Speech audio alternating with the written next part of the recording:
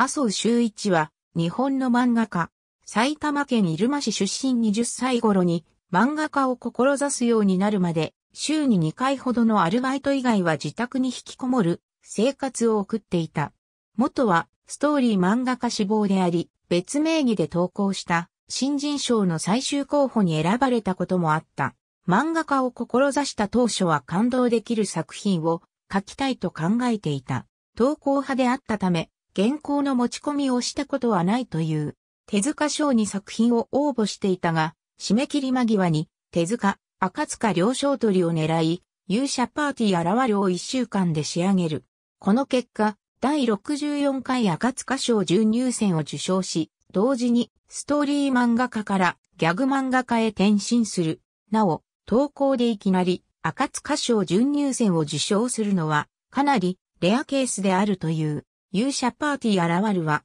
週刊少年ジャンプ2006年34号に掲載され漫画家デビューを果たした。その後、複数の読み切り掲載を経て、僕の私の勇者学を週刊少年ジャンプ2007年24号から2008年35号にかけて発表し初連載を果たす。デビューから約1年で連載までこぎつけたケースは、珍しく、スタートダッシュの早い作家である。勇者学完結後に探偵物の連載を試みるが、当時放送していたテレビドラマ33分探偵と構想が被ってしまい諦めた。2010年には再び週刊少年ジャンプで新世紀アイドル伝説カナタセブンチェンジを連載するが、13週で打ち切られる。麻生は過去の経験から主人公をツッコミ役にすれば自由度が高く話を作りやすいと考え、少年ジャンプネクスト2010サマーで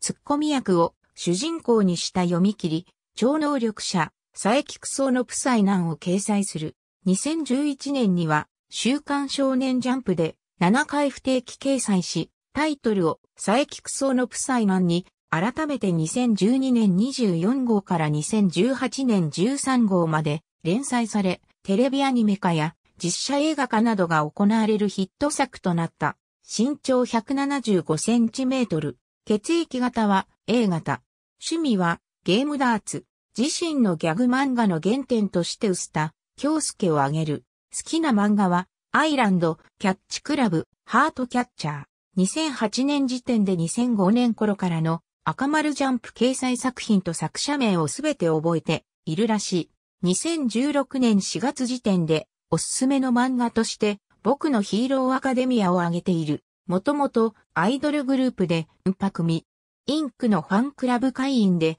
2019年9月に連覇、組の古川美鈴と結婚することを発表した。週刊少年ジャンプで勇者学には同時掲載を6回行った。さらに、本誌連載を救済することなく、赤丸ジャンプ2008ウィンターでも2話同時掲載を行い、さらに、ジャンプ SQ2008 年7月号にも特別編を掲載した。このことは、本誌や単行本でたびたびネタにしており、当時の史上最速30話達成を記録した。なお、原稿を仕上げる速度は6日で1周分だという音楽ゲーム B マニシリーズ及びアーティストのリューのファンで、リューベスト、ムーンリットマイナスのアナザージャケットを描き下ろした。麻生修一という名前はペンネームであるが、本名は公表していない。アシスタント。1は、ギャグ漫画家人間ドックデスレース。新人紹介ページ。週刊少年ジャンプ2006年34号、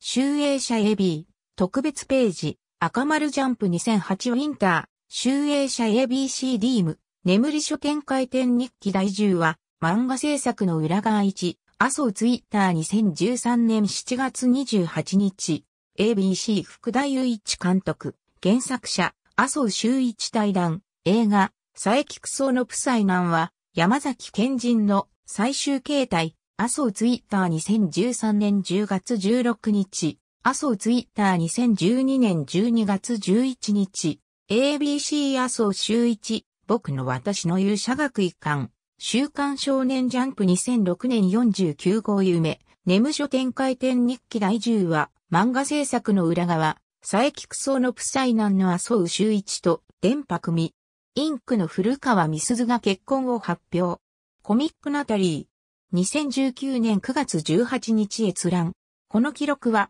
毎回には同時掲載を行った磯部磯表絵物語浮世は辛いように抜かれている。佐伯クソのプサイナン、麻生周一、宣言通り連載中に読み切りを執筆。ダヴィンチニュースハット AB、麻生周一の読み切りがジャンプと SQ に登場。2作が同じ世界観で進む新感覚ギャグ。コミックナタリー。2019年2月4日閲覧。電波組。インクのニューシングルジャケに麻生周一がメンバー7人佐伯描く。コミックナタリー。2018年4月8日閲覧。麻生ツイッター2013年2月1日。麻生ツイッター2012年11月13日。ありがとうございます。